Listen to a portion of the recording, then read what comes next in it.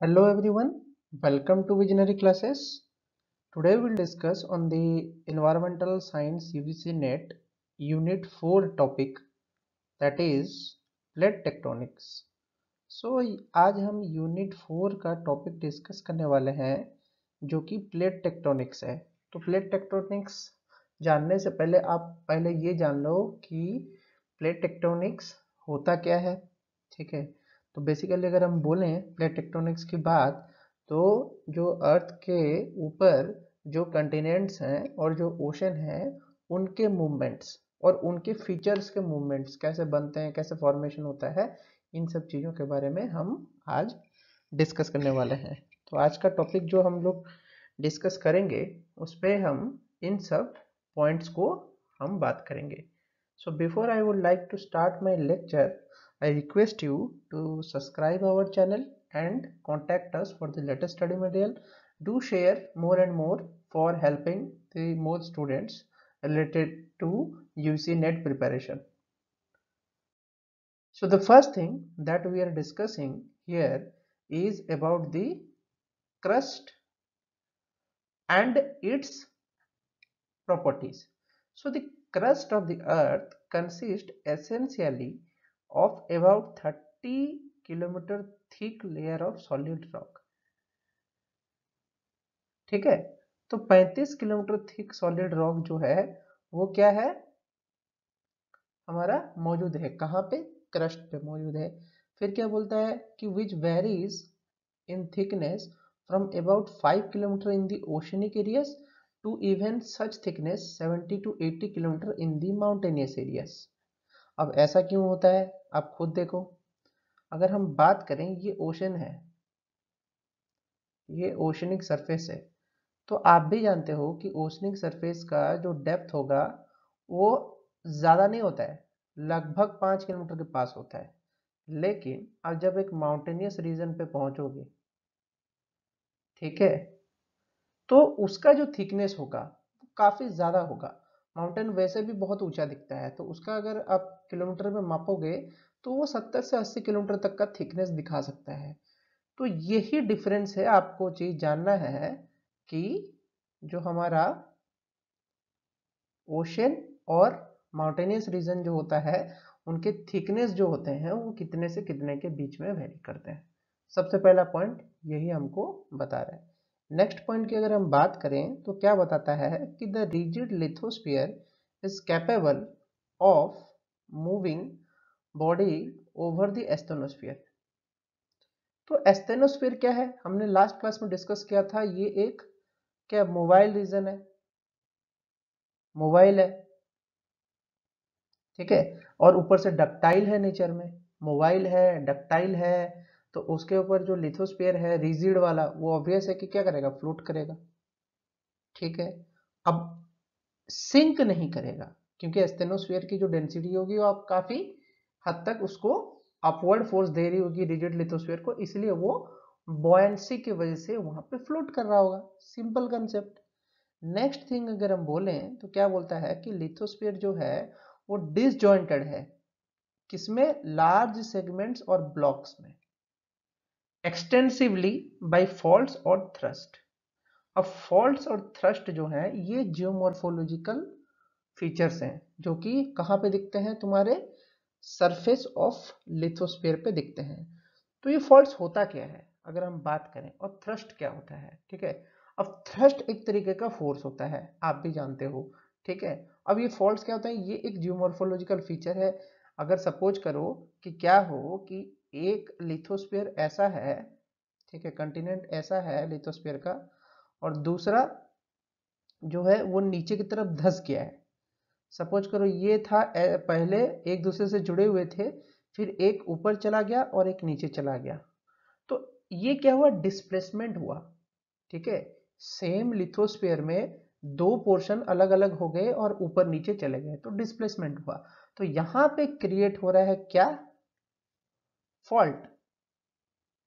Displacement की वजह से यहाँ पे क्रिएट क्या हो रहा है? फॉल्ट। ठीक है? ये चीज़ समझ में आ गया। अब बात बोलते हैं कि जो जर्मन मेटेरियोलॉजिस्ट थे, जर्मन मेटेरियोलॉजिस्ट ठीक है? जर्मन मेट्रोलॉजिस्ट थे, क्या नाम था उनका? एल्फर्ड वैगनर एल्फर्ड वैगनर उन्होंने क्या किया था कि फ़र्स्ट इंसान थे जिन्होंने डेवलप किया था। किस थ्योरी को? थ्योरी ऑफ़ प्लेट टेक्टोनिक्स को। In the form of continental drift पहले इंसान थे, जिन्होंने इसको डेवलप किया था। In the form of continental drift but इसका जो मेन कंट्रीब्यूशन गिवन हुआ है, वो किसने दिया है? Was formulated by the American scientist Harry Henry Hess ठीक है, ये हैस वाला जो टर्म है, आप याद रखना। और डैच ये दोनों ने मिलके क्या किया था? इस टर्म को हमारे फॉर्मुलेट किया था। नेक्स्ट अगर हम बात करें तो क्या होता है कि प्लेट जो होता है प्लेट एक रिजिड स्लैब होता है ऑफ़ रॉक होता है, जो कि मूव किसके ऊपर करता है? एस्थनोस्फीयर के ऊपर स्लोली मूव करता है। तो ऑब्वियस है, जो प्लेट है, वो स्लोली ही मूव करेगा। ज़्यादा तेज तो करेगा नहीं, क्योंकि वो लिथोस्फीयर पे है, मौजूद है। आपको भी पता है कि कंटिनेंट जो है, इतना तेज़ी से मूव नहीं करता है। अब इतना जल्दी जल्दी आप इधर उधर ट्रेवल नहीं कर रहे होते हो बैठे बैठे ये भी बात है। तो सिक्स मेजर प्लेट्स हैं। अगर बोला जाए कि सिक्स मेजर लिथोस्फेरिक प्लेट्स हैं, वैसे तो बारह हैं, लेकिन उनमें से सिक्स जो हैं वो काफ़ी मेजर हैं। तो ये जो सिक्स मेजर लिथोस्फेरिक प्लेट हैं, उनमें सबसे पहला आता है अमेरिकन प्लेट दूसरा आता है अफ्रीकन प्लेट तीसरा आता है यूरो एशियन प्लेट चौथा आता है इंडियन प्लेट पांचवा आता है अंटार्कटिका प्लेट एंड सिक्स जो है पैसिफिक प्लेट। ये जो पैसिफिक प्लेट है दिस इज़ ओसेनिक बाकी जो वन टू फाइव है दोज आर कंटिनेंटल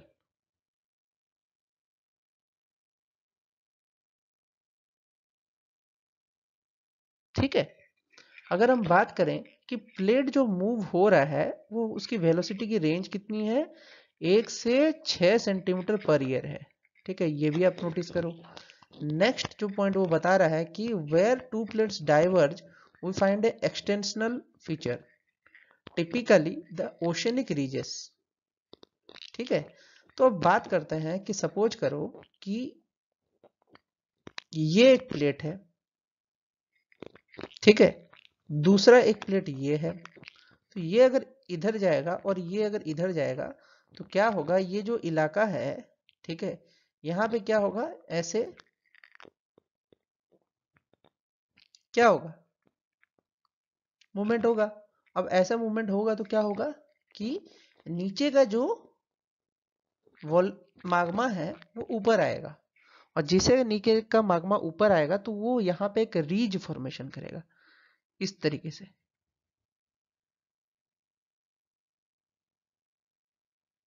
इस तरीके से रीज का फॉर्मेशन होगा। तो ये जो रीज का फॉर्मेशन होता है, वो तब होता है जब दो प्लेट डाइवर्ज करते हैं एक दूसरे से। वो भी सिमेट्रिकली इन वर्टिकल एक्सिस ये अगर वर्टिकल एक्सिस लिया जाए तो इधर का जो मूवमेंट है और उधर का मूवमेंट जो है, वो बराबर होना चाहिए तभी। तभी यहाँ पे रीज का फॉर्मेशन होगा। ठीक है? फिर बोलता है कि when two plates converge one is thrust beneath the other. Find island arcs, the huge asymmetric feature, which are site of greatest earthquake and explosive volcanoes. ठीक है? तो जब दो प्लेट कन्वर्ज करते हैं, ठीक है? अगर बात करें सपोज़ करो, ये हमारा ओशन है। और ये आके नीचे, एक कंटिनेंट के नीचे सबडक्ट हो जा रहा है। मतलब उसके अंदर चला जा रहा है। ओशन का जो क्रस्ट नीचे का, वो उसके अंदर जाके मेंटल की तरफ़ मूवमेंट कर रहा है।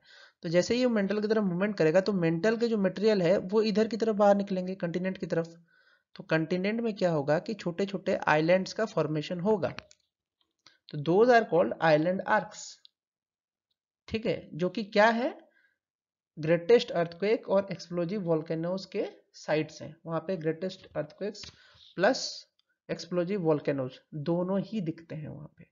ये चीज़ आपको पता होना चाहिए ओके तो this is the thing you should know about next अगर हम बात करें तो here in this figure you can see different plates that is present in our world तो हम गिन लेते हैं स्टार्टिंग से ही। तो पहले अगर हम बात करें यूरो एशियन प्लेट यहाँ पे हमारा इंडिया मौजूद है। लेकिन हम इंडो ऑस्ट्रेलियन प्लेट इसको बोलते हैं। ठीक है? फिर आता है आपका Pacific plate as we discussed Antarctic plate North American plate South American plate African plate ठीक है? इसके अलावा और भी प्लेट्स हैं, जैसे कि हम बात करें तो Philippine plate Juan de Fuca plate Cocos plate Nazca plate, Caribbean plate and एक स्कॉटशिया प्लेट भी मौजूद है जो कि ज़्यादातर नहीं दिखता है, बहुत ही कम उसको गिना जाता है, लेकिन स्कॉशिया प्लेट भी मौजूद है। यहाँ पे आप और कुछ फीचर्स देख सकते हैं, जैसे कि यहाँ पे लिखा हुआ है divergent, convergent, teeth on overriding plate and the transform. तो ये क्या है? ये मेजरली टाइप्स हैं। टाइप्स ऑफ़ प्लेट बाउंड्रीज ये प्लेट बाउंड्रीज के टाइप्स हैं। तो आप यहाँ पे नोटिस कर सकते हो कि ये सब प्लेट बाउंड्रीज के टाइप्स जो हैं, ये कहाँ पे दिख रहे हैं आपको? पूरे वर्ल्ड में दिख रहे हैं। इतना आपको तो समझ में आ गया। अब यहाँ पे आप देख सकते हो कि यहाँ पे अगर डाइवर्जेंट प्लेट बाउंड्री लिखा हुआ है तो ये प्लेट इधर जाएगा, ये प्लेट इधर जाएगा। ठीक है? अब ये ग्रीन लिखा हुआ है मतलब क्या? कि यहाँ पे प्लेट अंदर आएगा और यहाँ से भी अंदर आएगा, क्योंकि कन्वर्जेंट है। अब ट्रांसफॉर्म में क्या हो रहा है कि एक इधर चला जा रहा है तो एक इधर चला जा रहा है। Side slide past one another ठीक है? एक दूसरे के साइड से निकल जाना, इधर उधर हो जाना। That is slide past one another तो इनको हम ट्रांसफॉर्म फॉल्ट बोलते हैं। तो इतना मैं यहाँ पे समझा रहा हूँ। अब चलते हैं डिटेल डिस्कशन करते हैं कि क्या प्लेट बाउंड्रीज होते हैं। So the first thing we will discussing here is about the plate boundaries तो प्लेट बाउंड्रीज है क्या? जैसे कि हमने पढ़ा प्लेट की बाउंड्री को प्लेट बाउंड्री बोलते हैं। इनमें होता क्या है? These are the sites of intense geological activities अब इंटेंस जियोलॉजिकल एक्टिविटीज़ इसीलिए बोल रहा है क्योंकि यहाँ बहुत high rate of geological activities होता है। ओशन का नीचे कंटिनेंट के चले जाना कंटिनेंट के ऊपर से आइलैंड आर्क का फॉर्मेशन होना, दो कंटिनेंट को एक दूसरे के से टकराना, ये सब जो है इंटेंस जियोलॉजिकल एक्टिविटी है। इनसे बहुत मास चेंजेस आता है, इसलिए इसको इंटेंस जियोलॉजिकल एक्टिविटी कंसिडर किया जाता है which are mainly due to plate motion plate के मूवमेंट के वजह से ही ये हो रहा है। On the basis of movements three types of plate boundaries are present तीन तरीके के प्लेट बाउंड्रीज प्रेजेंट है, जिसमें कि सबसे पहले अगर हम बात करें तो कंस्ट्रक्टिव प्लेट बाउंड्री है। तो कंस्ट्रक्टिव प्लेट बाउंड्री होता क्या है? देखो, दो नाम है।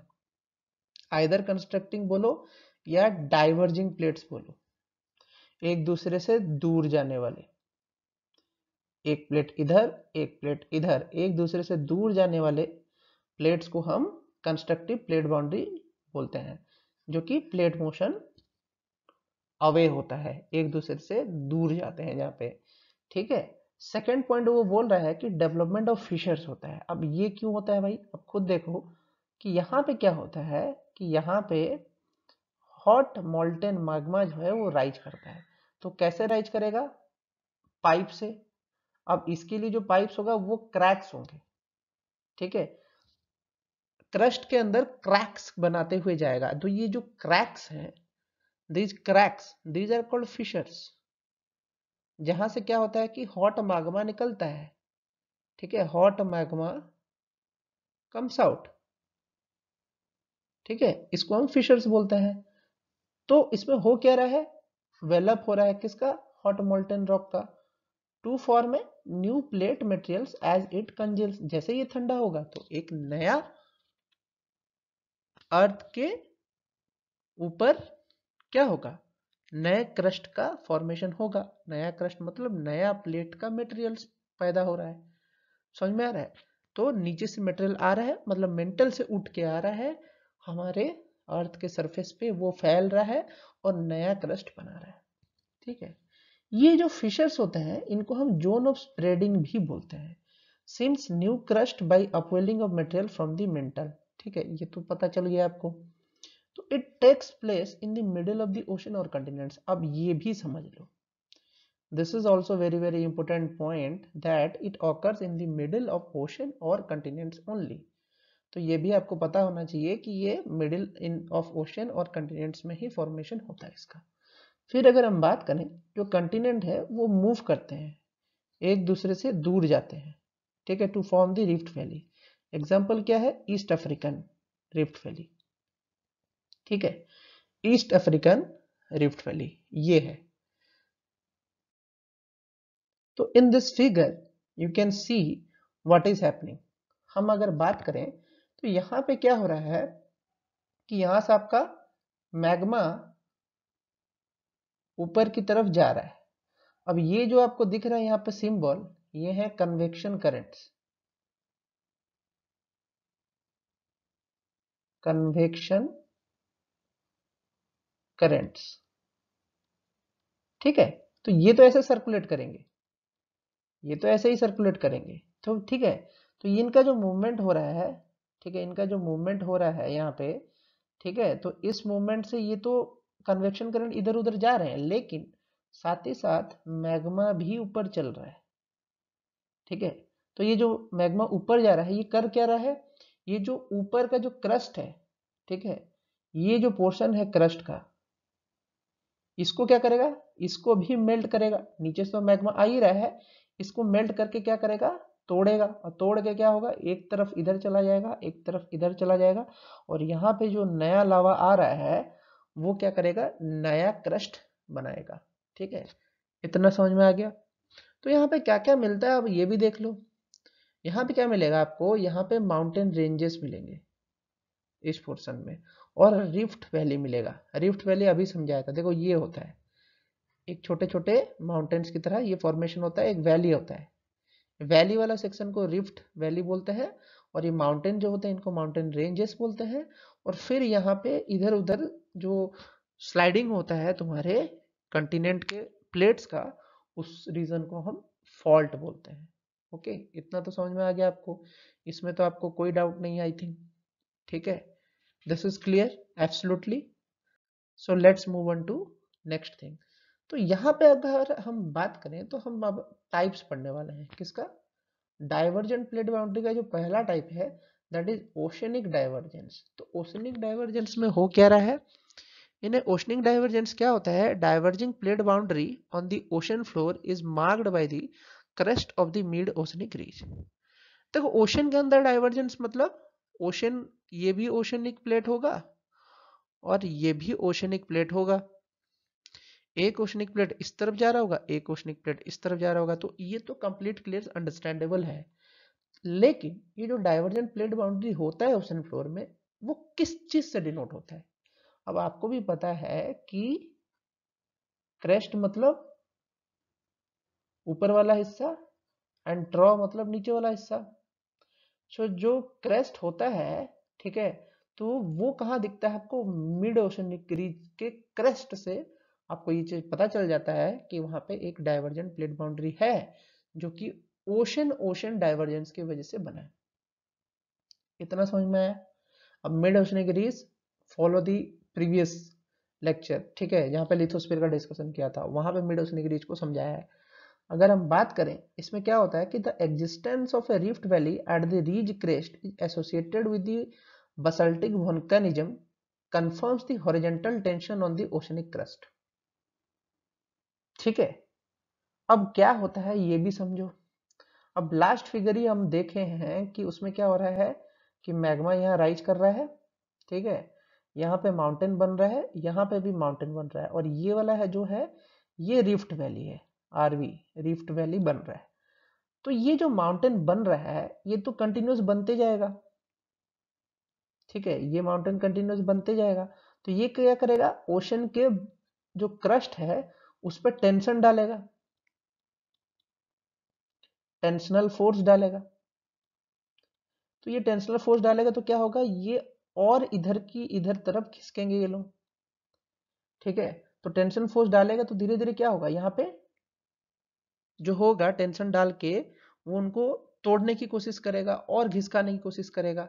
तो इस जगह पे क्या होता है? इस जगह पे इस वॉल्केनोस क्रिएट होते हैं जो कि बेसल्टिक इन नेचर होते हैं। बेसल्टिक ठीक है? बेसल्टिक रॉक है, आपको पता है। बेसल्टिक इन नेचर होता है। लास्ट लिथोस्फेरिक क्लासेस में पिलो लावा के बारे में बताया था। तो पिलो लावा का मतलब आपको पता है। तो उसी में बेसल्टिक वॉल्केनिज्म का कंसेप्ट आ रहा है। तो ये जो वॉल्केनिज्म हो रहा है, ये appears to be the result of melting of mantle beneath the ridge crest due to release of pressure on the hot mantle rock the eruption of lava creates a new ocean floor within the rift valley ये तो simple सा चीज़ है कि नया आ रहा है pressure डाल रहा है साइडवाइज टेंशन डाल रहा है माउंटेन धीरे धीरे घिसक रहे हैं, नए माउंटेन्स का फॉर्मेशन हो रहा है, नए ओशन फ्लोर का फॉर्मेशन हो रहा है, जो इरप्टिंग लावा है, वो नया ओशन फ्लोर बना रहा है एट रिफ्ट वैली ये आपको समझ में आ गया ओशनिक डाइवर्जेंस में। अब हम बात करें तो कंटिनेंटल डाइवर्जेंस की। तो कंटिनेंटल डाइवर्जेंस को हम कंटिनेंटल रप्चरिंग भी बोलते हैं। तो कंटिनेंट तो भाई सॉलिड है, ठीक है? अब ये कंटिनेंट सॉलिड है, इसमें अगर क्रैक आ गया ठीक है? मतलब रप्चर हो रहा है, टूट रहा है क्रैक हो गया तो टूटेगा। अब क्रैक होकर टूटेगा तो क्या होगा? एक इस तरफ़ चला जाएगा, एक इस तरफ़ चलेगा इसलिए तो कंटिनेंट डाइवर्जेंस है। Which occurs when a column of heat mantle rock begins to rise from the deep beneath the continental plate देखो, पहले ही बताया मिडिल में होता है तो ये कंटिनेंट के मिडिल में ही हो रहा है। ठीक है? वही फेनोमेना है कि mantle rise mantle plume rise करेगा मागमा लेके राइज करेगा, ठीक है? तो ये मेंटल जो कॉलम है मेंटल ब्लूम ठीक है? Due to elevation the crust becomes thinner above the uplift क्या होता है कि जैसे ये राइज करता है तो ये राइज करते करते ये एक्सपैंड करने लगेगा। तो एक्सपैंड करेगा तो क्या होगा? वो पतला हो जाएगा। जो क्रस्ट का ऊपर का लेयर है, वो पतला हो जाएगा। तो इसकी वजह से क्या होगा? टेंशनल फोर्स क्रिएट होगा, जो कि प्लेट को फ्रैक्चर कर देगा, तोड़ देगा। अब प्लेट को फ्रैक्चर कर देगा तो उसमें क्या बन जाएगा? रिफ्ट वैली बन जाएगा अलोंग दी सेंट्रल ग्रेबन अब ये जो बोल अलोंग दी सेंट्रल ग्रेबन इसका मीनिंग समझो।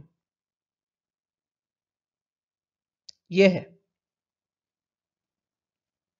यहाँ पे आपका माउंटेन बन रहा है, यहाँ पे माउंटेन बन रहा है, यहाँ पे माउंटेन बन रहा है। बीच वाला जो रीजन है, वो ग्रेवन है। ठीक है? वही रिफ्ट वैली रिफ्ट वैली जो मिडिल वाला सेंट्रल लिफ्ट वैली है वो स्ट्रक्चर को ग्रेवन बोलते हैं, इसको ग्रेवन बोला जाता है। ठीक है, इतना आप समझ लो। अब ये जो फिगर है, ये आपको और अच्छे से समझा पाएगा कि क्या हो रहा है। This diagram is also very very important आप ये समझ जाओगे तो बहुत कुछ समझ जाओगे कि क्या हो रहा है। ठीक है? तो देखो सबसे पहले क्या हो रहा है। पढ़ते हैं एक एक करके। तो सबसे पहले अगर हम बात करें तो यहाँ पे हो क्या रहा है? ये बोल रहा है कि uplift of a broad areas dykes introduced crust heated and expanded magma ऊपर आया। ये जो पोर्शन है, इसको हम डाइक्स बोलते हैं। यहाँ पे डाइक्स की तरह बन रहा है एक्सपैंड कर रहा है कंटिनेंट कंटिनेंट का एक्सपेंशन हो रहा है। तो कंटिनेंट अगर एक्सपेंशन हो रहा है डाइक्स के फॉर्मेशन की वजह से तो यहाँ पे क्या हो रहा है? कंटिनेंट रप्चर हो रहा है, देखो। टूट रहा है, जैसे बताया था कंटिनेंट रप्चर हो रहा है। क्यों? कंटिनेंटल क्रस्ट जो है, वो थीन होते जा रहा है। नीचे के टेंशन की वजह से वो थीन हो रहा है। तो थीन होके वो रप्चर होगा, सबसे पहले। तो इसका एग्ज़ाम्पल क्या है? कोलेराडो प्लेट्यू फिर क्या होता है कि जैसे ही वो रप्चर होता है रप्चर होने के बाद क्या होता है? वो टूटता है। टूट के क्या बनेगा? रिफ्ट वैली बनाएगा।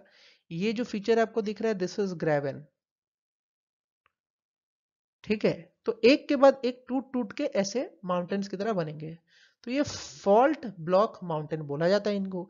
अब यहाँ पे है सी लेवल कंटिनेंटल क्रस्ट जो है वो इधर उधर मूव कर रहा है। मैग्मा अभी भी राइज कर रहा है। तो ये नॉर्मल फॉल्ट्स का फॉर्मेशन होता है। इसका एग्जांपल क्या है? अफ्रीकन रिफ्ट वैली और रियो ग्रैंड रिफ्ट दो हैं इसके एग्जांपल बात करते हैं नेक्स्ट फिगर की तो नेक्स्ट फिगर में क्या बोल रहा है? Oceanic crust and new ocean forms फिर क्या होता है कि धीरे धीरे धीरे धीरे मैग्मा राइज करेगा। राइज करने के बाद क्या होगा? यहाँ पे तो सेडिमेंट डिपोजिट हो ही रहा है। जो सी लेवल था, वो सी लेवल से भी नीचे चला जाएगा। अब सी लेवल से कोई चीज़ नीचे जाएगा तो ऑब्वियस उसमें क्या होगा? पानी वाटर आ जाएगा। अब पानी आ गया तो यहाँ पे पानी का भरमार हो गया। तो यहाँ पे ocean crust and new ocean forms यहाँ पे नया ओशन और नया ओशनिक क्रस्ट का फॉर्मेशन हो गया। देख रहे हो? नया ओशनिक क्रस्ट का फॉर्मेशन हो गया। तो रेड सी जो है, वो इसी तरीके से बना है। फिर अगर हम बात करें, क्या होता है कि क्रस्ट धीरे धीरे धीरे पतला हो जाता है कूल्स होता है, क्योंकि हॉट लावा मॉडलेन मागमा वहाँ पे होता है, जो कॉन्ट्रैक्ट कर रहा होता है। फिर क्या होता है? कि वो धीरे धीरे सिंक करता है बेनिथ द सी तो इस तरीके से अटलांटिक ओशन का फॉर्मेशन हुआ। अब फिर यहाँ पे आप देख सकते हो कि फिर मैग्मा राइज करेगा। अब यहाँ से क्या होगा? फिर ओशन ओशन डाइवर्जेंस होगा। फिर वहाँ पे नया क्रस्ट का फॉर्मेशन होगा। तो इस तरीके से ये प्रोसेस चलता रहता है। आई होप कि ये वाला पोर्शन भी आपको समझ में आया है। Now you will discussing about the destructive plate boundaries तो डेस्ट्रक्टिव प्लेट बाउंड्रीज मतलब यहाँ पे क्रस्ट का खत्म होना। तो डिस्ट्रक्टिव प्लेट बाउंड्रीज और कन्वर्जिंग प्लेट बाउंड्रीज जो होते हैं वो सेम होते हैं। यहाँ पे क्या होता है? क्रस्ट खत्म हो जाता है। क्रस्ट का धीरे धीरे वहाँ अर्थ के सरफेस से गायब हो रहा होता है। तो इसमें होता क्या है? कि zone along which two plates are in motion towards each other three situation can be there तीन सिचुएशन का बात किया है। तो पहला जो सिचुएशन है that is ocean ocean convergence अब इसमें क्या होता है कि subduction of plate forming the oceanic crust is the cause of trench which is formed immediately over the zone of subduction अब सपोज़ करो कि ये एक ओशन है, और यहाँ पे भी ओशन है। एक ओशन दूसरे ओशन के नीचे कब जाएगा? जब यहाँ पे सडन कोई क्रैक होगा। सडन एक क्रैक बन जाएगा, ठीक है? सडन क्रैक का मतलब क्या है? कि ऐसा डिप्रेशन क्रिएट हो जाएगा। वो तभी हो सकता है जब अर्थक्वेक हो। जब अर्थक्वेक हो और रप्चर हो जाए, नीचे का क्रस्ट तो यहाँ एक हिस्से का पूरा पानी नीचे घुस जाएगा। तो ये क्या होता है? जोन ऑफ़ सबडक्शन क्रिएट हो गया यहाँ पे, और इसको हम ट्रेंच बोलेंगे। ट्रेंच बोल देते हैं हम इसको। तो आपने मरियाना ट्रेंच का नाम तो सुना ही होगा। मरियाना ट्रेंच का नाम सुना ही होगा आपने। ठीक है तो उसी तरीके का एक ट्रेंच का फॉर्मेशन हो जाता है। ये कब होता है? जब एक ओशनिक क्रस्ट दूसरे ओशनिक क्रस्ट के नीचे चला जाता है तो वहाँ पे इमीडिएटली ट्रेंच का फॉर्मेशन होता है। फिर क्या होता है कि क्योंकि ये ओशनिक क्रस्ट नीचे चला गया है मैग्मा चैम्बर के पास तो वहाँ का जो मटेरियल है, वो तो फिर ऊपर राइज करेगा। और ऊपर राइज करके क्या फॉर्मेशन करेगा? आइलैंड आर्क का। This will form island arc देखो, ये डिफरेंस है। यहाँ पे आइलैंड आर्क बनता है। कहाँ पे? आइलैंड है, चारों तरफ़ से पानी से घिरा हुआ है, इसलिए इसको आइलैंड आर्क बोला जाता है। Next thing will discussing is the ocean continent convergence अब इसमें क्या होता है? A plate containing the oceanic crust is subduct under a plate containing the continental crust अब कंटिनेंटल क्रस्ट के नीचे ओशनिक क्रस्ट जाएगा क्यों? सबसे पहली बात तो ये है। क्यों जाएगा भाई? ओशनिक जो क्रस्ट है उसकी जो डेंसिटी है दैट इज़ 2.9 ग्राम पर क्यूबिक सेंटीमीटर कंटिनेंट का कितना है? 2.7 ग्राम पर क्यूबिक सेंटीमीटर ठीक है? तो दोनों के डेंसिटी में डिफरेंस है तो ऑब्वियस है हायर डेंसिटी वाला जो है, वो लोअर डेंसिटी को चीरते हुए निकल जाएगा। तो यहाँ क्या होता है कि ओशनिक क्रस्ट जो है कंटिनेंटल क्रस्ट के नीचे सबडक्ट हो जाता है। तो क्या होता है? क्यों क्योंकि कॉन्टिनेंट ओशनिक क्रस्ट का डेंसिटी जो है हाई है। इसलिए वो कंटिनेंट क्रस्ट के नीचे चला जाता है। तो इस तरीके के मूवमेंट्स भी हमको दिखते हैं। This is also an example of destructive boundaries तो इसका हम अगर सीधा सीधा यहाँ पे फिगरेटिव व्यूज़ देखें तो आपको पता चल जाएगा, यहाँ पे भी ट्रेंच का फॉर्मेशन होगा ओसनी क्रस्ट नीचे जा रहा है और यहाँ से हमारा फिर से मैग्मा राइज कर रहा है। लेकिन यहाँ पे किस चीज़ का फॉर्मेशन हो रहा है? वॉल्केनिक आर्क का। दिस इज़ वॉल्केनिक आर्क वहाँ पे क्या था? आइलैंड आर्क समझ में आया डिफरेंस आया ना समझ में? Ocean continent convergence volcanic arc oceanic ocean convergence हमारा क्या देगा आइलैंड आर्क अब बात करते हैं तीसरे वाले की। तो जिसमें बात करता है कि कंटिनेंट कंटिनेंट कन्वर्जेंस और कंटिनेंटल कोलिजन तो इसमें क्या होता है कि here two continent collides while moving together towards each other. Ocean basins between them also get reduced in the width and ocean floor gets subducted under one continent.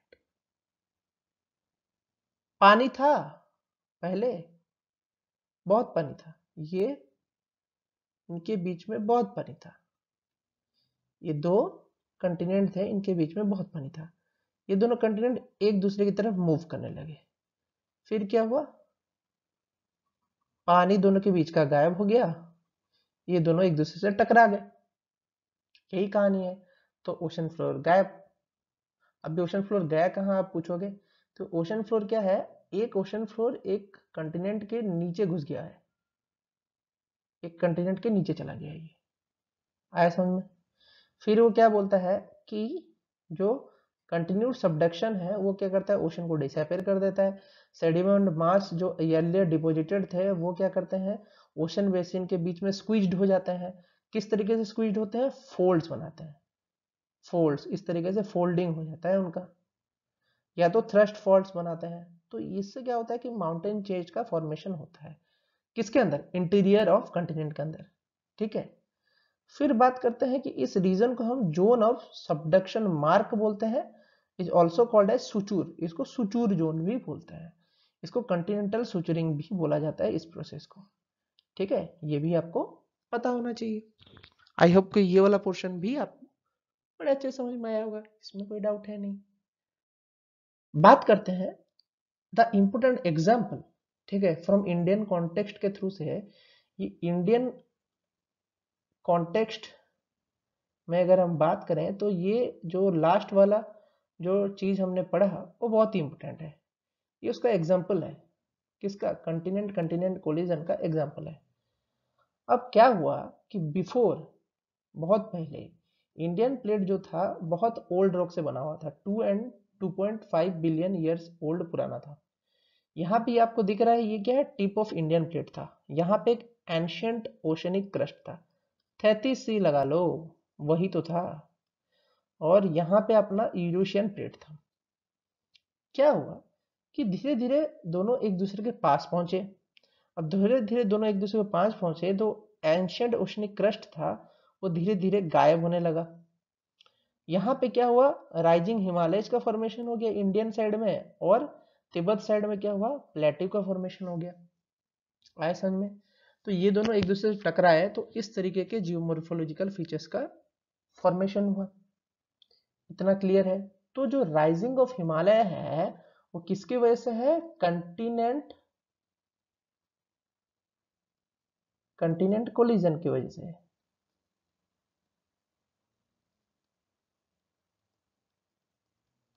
इतना समझ लो, ये बहुत ही इंपॉर्टेंट है। कंटिनेंट कंटिनेंट कोलिजन की वजह से राइजिंग ऑफ़ हिमालय हुआ है। नेक्स्ट अगर हम बात करें तो हम बात करते हैं the last one that is conservative boundaries अब इनको हम ट्रांसफॉर्म फॉल्ट्स भी बोलते हैं। तो इसमें होता क्या है, ये भी जान लो। ये जो बाउंड्रीज होते हैं, इनमें क्या होता है कि two plate slide past one another अब एक प्लेट ये है और एक प्लेट ये है।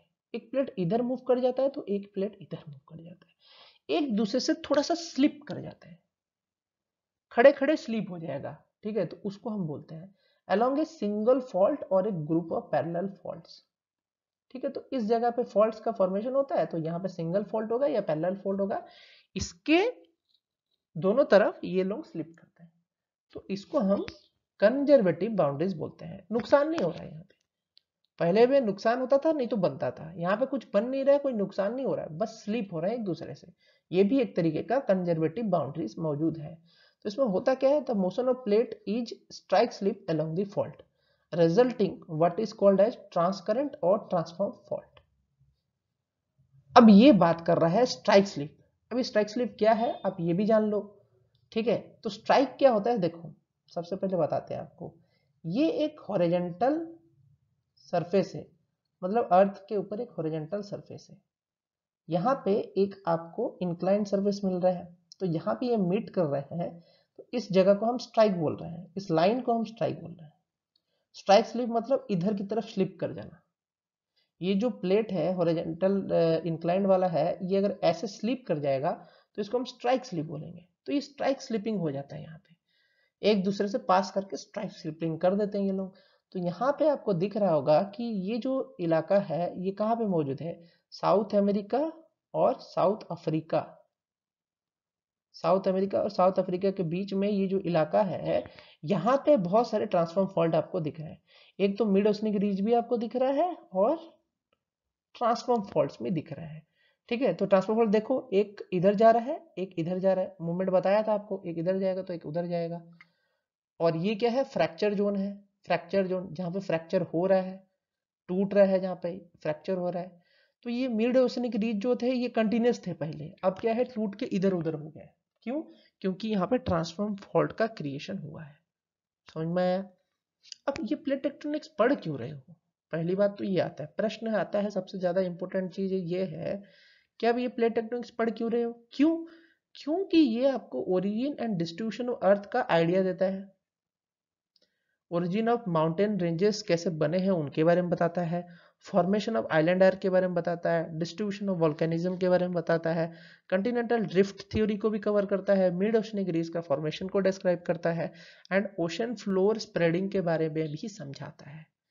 तो ये इतने सारे एप्लीकेशन हैं इस थ्योरी के तो इसका पढ़ना कितना ज़्यादा ज़रूरी है आपको पता चल रहा होगा, ठीक है? आई होप कि आपको ये पूरा लेक्चर अच्छे से समझ में आया होगा, कोई भी डाउट है बिना सोचे कमेंट बॉक्स पे लिखो and ask your doubts and do share this lecture because this is very very important lecture do share with the students so that they can be very easy to understand all this stuffs have a nice day